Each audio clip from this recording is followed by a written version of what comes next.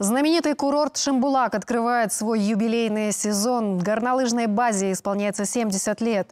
Отметить солидную дату алматинцев и гостей города приглашают, конечно, на заснеженных склонах.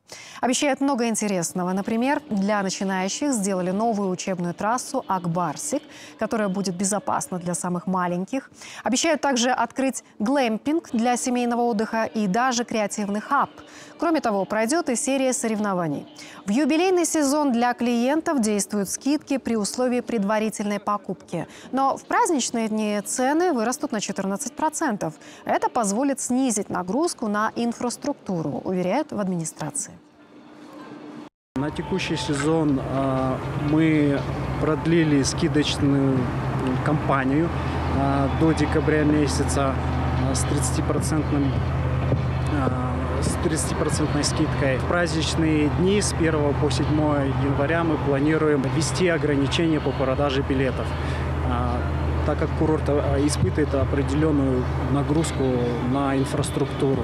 Соответственно, в праздничные дни предусмотрено увеличение цены на 14%.